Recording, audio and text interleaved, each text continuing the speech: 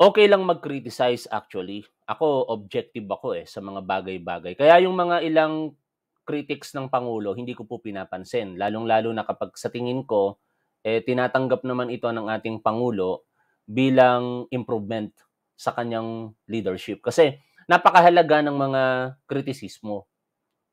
Diyan ka lalago. Sabi nga ni Congressman Sandro Marcos, dalawang uri ang kritisismo eh. Papalaguin ka, saka magmumulat sa'yo doon sa mga pagkukulang mo. Pero in English niya kasi sinabi yon tinagalog ko na lang ha. Eh, dapat maging pamantayan po natin yon na kapag ka may kumikriticize sa ating mahal na Pangulong Bongbong Marcos, huwag kagad natin aatakihin. Kailangan lamang nating maging objective. Pero yung mga ganitong uri ng kritisismo, eh dapat ipinagtatanggol po natin dito si Pangulong Bongbong Marcos. Ano po ang aking tinutukoy mga tol?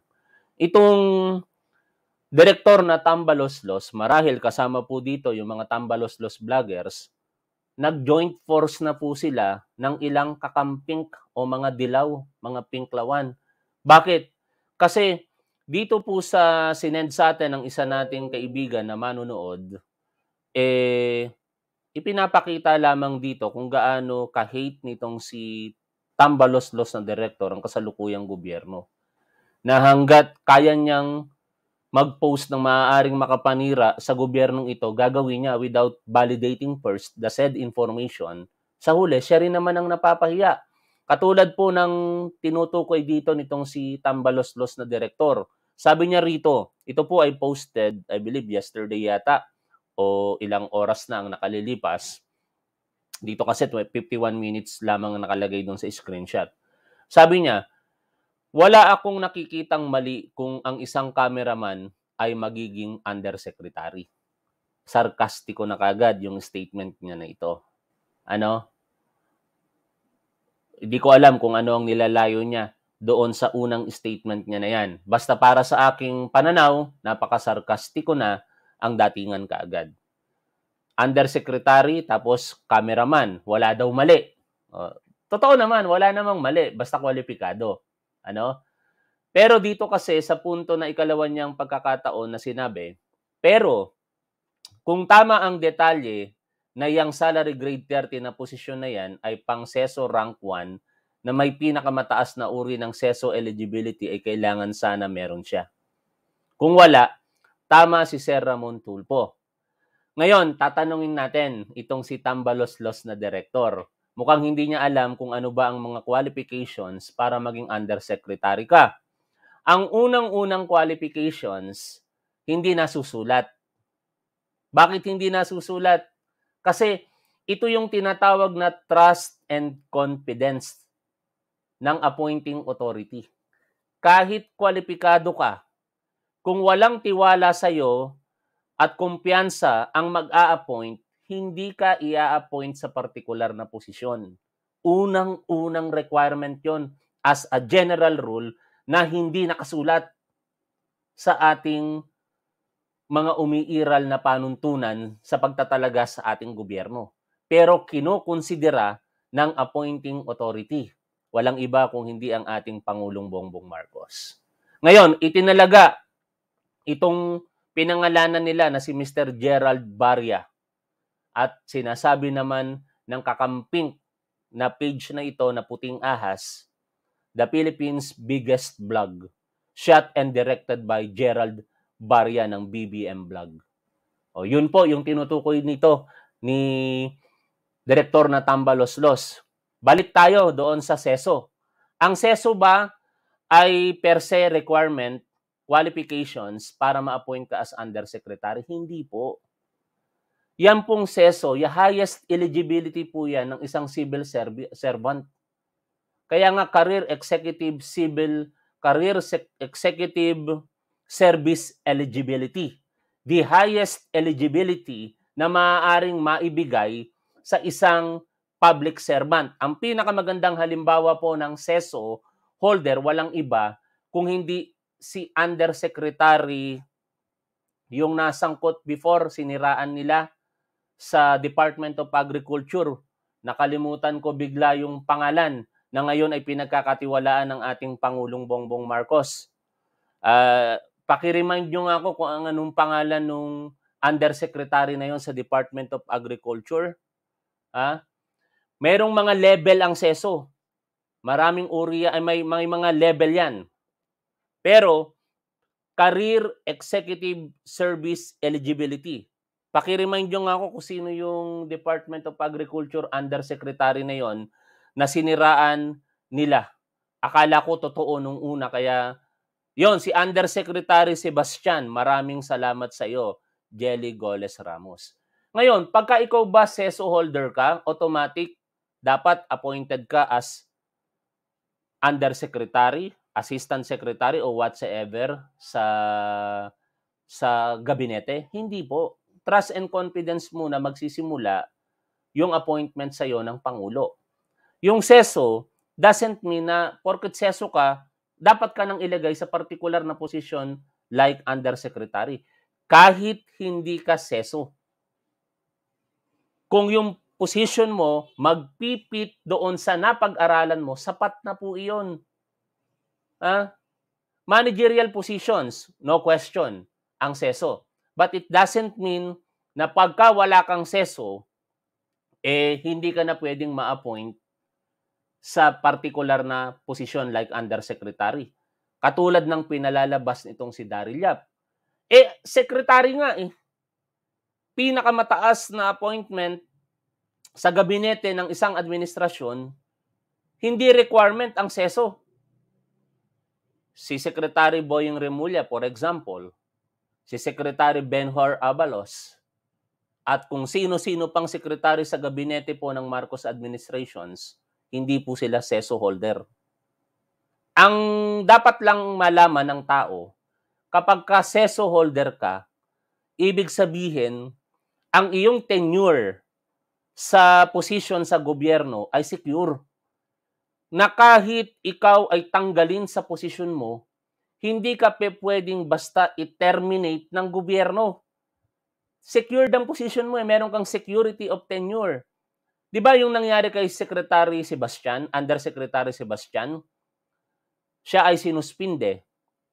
Tapos tinanggal nga siya sa kanyang sa kanyang posisyon before, pero hindi siya na terminate as government employee kasi permanent ang kanyang status sa gobyerno. Yon ang dapat mong malaman, Daryl Yap. Hindi yung magngangaw ka kaagad na kailangan meron ang isang undersecretary ng SESO. Nakakalimutan mo yata na sa previous administrations, ang daming appointment na walang SESO. Ang pinaka infamous appointment na ginawa ng Duterte administrations, yung appointment kay Mocha Uson. Si Mocha Uson ba merong seso? Si Senator Bongo, nung hindi pa siya senador, merong bang seso si Senator Bongo? Inappoint siya bilang special assistant to the president secretary po yon. Ano, miyembro po ng gabinete. Meron bang seso? Wala.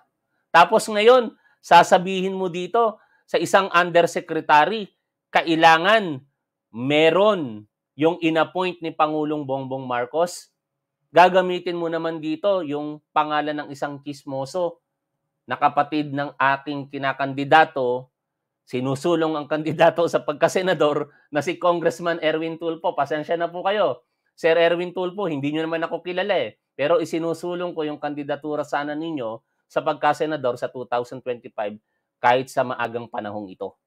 Gusto ko ng paghandaan kagad yun na susuportahan ko kasama siyempre si Speaker Martin Romualdez na sana tumakbo sila sa pagkasenador. Kaya pasensya na po kayo, Erwin Tulfo, kung ang tawag ko sa kapatid ninyo, nakakatandang kapatid na si Ramon Tulfo ay kismoso. Pero inyo, itong Daryl Yap na ito, nagagawa niya ngayon i-take note sa kanyang post itong si Ramon Tulfo. Na kung tutuusin, dapat hindi niya pinapansin eh, kasi isa ito si Ramon Tulfo na tumitira kay Tambaloslos sa boss nila, kay Sara Duterte. Oh, ngayon, So much for that. Puntahan natin yung arguments nitong puting ahas. Saka mamaya gagamitin natin yung post ni Kakiraki kasi Yung post ni Kakiraki, sila yung nakakakilala sa tao. Di ko naman to kilala tong Gerald Barria eh. O, yun, para magkaroon tayo ng basis kung bakit karapat dapat sa appointment na yan itong si Gerald Barria. Gumagawa ngayon ng eksena itong puting ahas na pinapakalat naman itong si Daryl Yap, ang tambalos-los na direktor. Sabi po dito sa puting ahas page, The Philippines' biggest blog, shot and directed by Gerald Barria ng BBM Blog. Ginawang undersecretary sa Office of the President. Salary grade 30, 200,000 a month. Oh, yung salary may punto 'yan. Ang salary grade 30 ay sumasahod sa kasalukuyan ng 211,902 pesos. Kung tama itong table na nakuha natin sa aking kaibigan. Oh, walang wala namang question sa sahod daw ng undersecretary.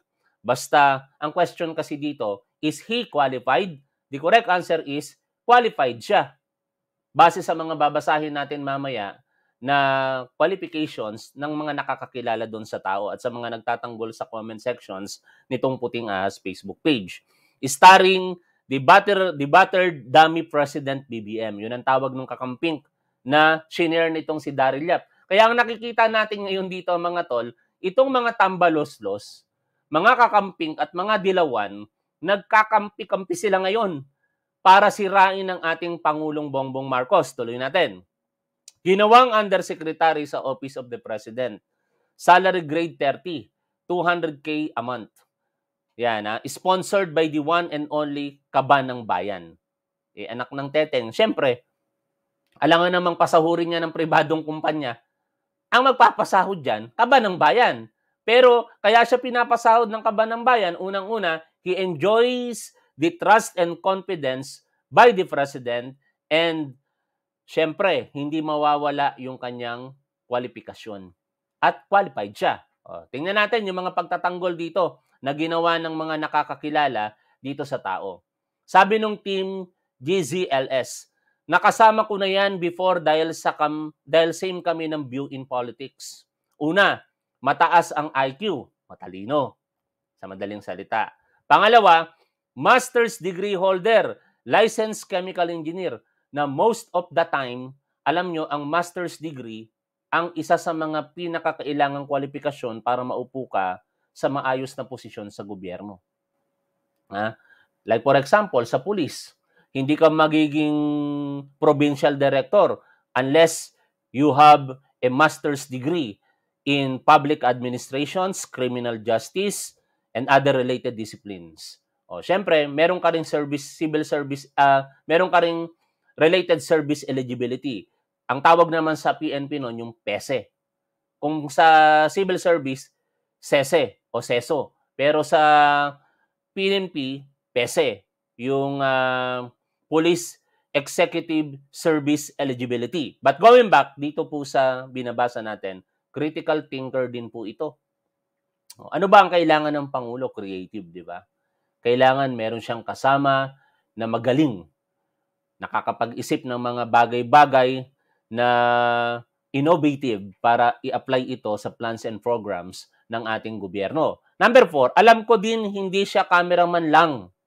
He has his own video production team. Number five, hindi siya kakamping Other side of the fence din siya, like most of us. Okay, tuloy pa natin. Ito po si Gerald Barria, yung sinasabi nilang cameraman lang daw. Oh. Business owner and general manager at Sion Chem Industrial Trading. Office of the President of the Republic of the Philippines, De La Salle University. About yung pagkakakilanlan dito ha, kay Engineer Gerald Barria. Sabi niya, He was a licensed chemical engineer. He has completed college education as DOST scholar. Anak ng teteng, napakatalino ng tao, nilalait-lait ninyo. He has worked for several multinational corporations, have been sent to different countries for technical training, and have been continually updating his knowledge both in technical and marketing standpoint through personal research and further education. He has completed his academic units for a master's degree in chemical engineering as a DOST scholar. Oy, tambalos-los na direktor at kakamping. Eh baka kayo di nyo na-experience na maging scholar ng DOST. Para maging scholar ka ng DOST, kailangan mong talunin ang napakaraming kapwa mo matatalino. Ganun yung kasimple. Hindi ka magiging scholar ng DOST kung hindi ka sobrang talino. Oh. Ngayon, tuloy natin. Sabi pa ng mga nagtatanggal dito kay Gerald Barria, sabi nung Stephanie Delgado, Hi Direk, the account you reposted is anti-Marcos. Yun nga ang pinakamasakit dito eh, nagkakampi-kampi na sila eh. Anti-Marcos pero sineshare ni Tambaloslos Director para lamang siraan si Pangulong Bongbong Marcos. Kaya kayo mga tol, kayong mga PBBM supporter at sa loyalista, ewan ko kung sinusuportahan nyo pa itong si Tambaloslos Director pero, isa lang ang masasabi ko. Sabi nila, itutuloy daw nila yung ma'am. Huwag po kayong manonood ng ma'am. Tama na yung naging tanga tayo sa MIM, saka MOM. Sa MAM, wag na po. okay? The bottom statements are disrespectful to the office of the President. So contemptuous. Is it worth reposting? Okay ba to kay Senator Amy na ganyan any tawa, ay, ang, ang tawag sa kapatid or pamilya niya? Direct Daryl, parang sobra na po. Opinion ko lang po, sabi nung Stephanie Delgado. Sabi pa ng isang nagtatanggol, si Harold Bangit, no need na seso siya if appointed siya. Kasi co-terminus ang mangyayari sa kanya. Tama. Nagegets nyo ngayon ang kahalagahan ng seso. Ang seso kasi permanent incapacity. Kung seso ka, hindi ka kinakailangan i-appoint per se ng gobyerno ang presidente para magkaroon ka ng posisyon sa gobyerno dahil nandoon ka na for a long time. Okay, Lady in Red, maraming salamat diyan ha. O tuloy tayo. Sabi pa rito, ang kailangan lang ng CESO eligibility kung permanent item, especially for career officials. Like for example, si Undersecretary Sebastian sa Department of Agriculture, ang dating officer in charge sa Department of Health na si Dr. Berheire, mga CESO holder yan. The President can make appointments na dadaan sa Commission on Appointments ng Senate at Congress. And they will be co-terminus with him. Pwede namang hindi i-confirm ng Senate if feel nila na hindi tama para matanggal. Anyway, ang Undersecretary hindi naman niyang kinakailangan ng uh, confirmations ng Commission on Appointment. But going going back dito sa magandang pagtatanggol dito kay Gerald Barria, pupuntahan natin ngayon yung account ni, ni Kakiraki. Kasi mas maganda yung paliwanag ni Dikaki Raki. O, puntahan natin si Dikaki Raki ha. Alam nyo, dapat pinapalaw nyo yung mga matatalinong vlogger. Huwag kayong magpapalong ng tambaloslos na direktor, mga aso ni tambaloslos na direktor, kasi magiging bobo kayo. Magiging tanga kayo. O, sabi ni Kaki Raki dito, sa pagtatanggol niya dito kay Undersecretary Gerard Barria. Tama ba? Uh, kalimutan ko kagad yung pangalan ah. Ayan, Gerald Barria. Tama naman pala. Nag-doubt ako sa memory ko eh. Sabi niya rito, the appointment of any individual to any position within the executive branch of the government is the sole discretion of President Bongbong Marcos as guaranteed by Article 7, Section 16 of the 1987 Constitution. Ibig sabihin, yon yung prerogatibo sa madaling salita ng ating Pangulo na nakabase una sa lahat sa trust and confidence. Anyone who enjoys the trust and confidence of the President is entitled to be appointed as Undersecretary. Pero siyempre, after such trust and confidence comes next the qualifications. Hindi naman natin sinasabi na walang kwalifikasyon itong si Gerald Barriay. Meron. So, even though this is a CESO rank 1 position with a commensurate salary grade of 30, Undersecretary Gerald, who is from the private sector, may assume this position. Tama. And pursuant to Executive Order 292 as well as CESB Circular 07 and 108, he has one year or 12 months to acquire his CESO status. O, ayon pala sa mga alutintunin na sinusunod sa appointment, may pagkakataong ibinibigay para dito kay Gerald Barria na isang taon para niya makuha yung pagiging civil executive service eligible. Ha? Sese. Pagseso officer, di ba? Ngayon, Mas puntahan pa natin yung una niyang post. Ito yun, no? Undersecretary Gerald Barria is under attack by Kakampings and Tambaloslos Director et al. Alam niyo na yung et al, mga aso ni Tambaloslos Director o yung mga galit kay PBBM saka kay First Lady Lisa Araneta Marcos. They have the temerity to impugn. Is Gerald Barria qualified to be undersecretary? Yun yung mis, uh, misconception dito nitong mga aso na ito eh. Ano? Akala nila hindi kwalipikado si Gerald Barria. Kakampings and kakampures who disapprove him more than likely have matriculated, uh, medyo ano ito, medyo sarcastic tong post na ito ni Kakiraki. Hindi ko na babasahin kasi baka naman yung mga iba sa atin eh hindi naman nakatapos sa magandang paaralan, ma-offend natin. O, lagpasan natin yan. Not only did Undersecretary Gerald Barria become a master's degree holder from De La Salle University, but he also achieved it while being a scholar of the DOST no less. Yung binasa na natin kanina, napakatalino nitong si Gerald Barria. Furthermore, he is a board-certified chemical engineer who also happens to have had the relevant years of permanent experience prior to volunteering to be the director and cameraman of PBBM's blog. Ngayon, mga tol, porket ba ang isang tao, yung kanyang pinag-aralan, medyo sumegway doon sa kanyang posisyon na hinahawakan sa kasalukuyan, makes him a lower level individual. Di ba hindi? Parang ako.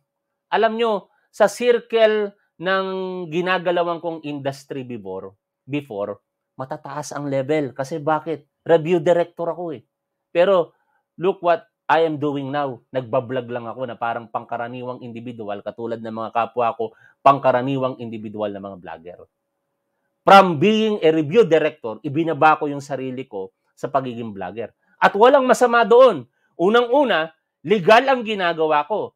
Pangalawa, paniniwala ko, mas productive ako sa ginagawa ko sa kasalukuyan kaysa sa nakaraang profesyon ko. Ganon din naman siguro itong si Gerald Barria. Hindi niya kinakailangan maging mataas ang posisyon sa isang kumpanya bilang a chemical engineer kung unang-una hindi rin siya masaya doon sa ginagawa niya. Katulad ko, mas masaya ako sa ginagawa ko ngayon. Oh, pero hindi naman ibig sabihin nun, mababang nila lang na ito si Gerald Barria. Dahil kung anuman yung kanyang mga natapos, kung anuman yung profesyon namin, mananatili po sa amin yun. I am a vlogger. Pero mananatili akong isang registered criminologist. Mananatili akong isang profesor sa tingin ng aking mga estudyante. Kasi kung qualification, syempre, hindi rin naman ako profesor dahil hindi naman ako doktor. Pero ang tawag sa akin, dahil nga well-experienced ako sa pagtuturo, professor, teacher, sa madaling salita. Ngayon, nagbabalag ako. Nagiging mababang nila lang ba ako noon? Hindi na ba ako kwalipikado?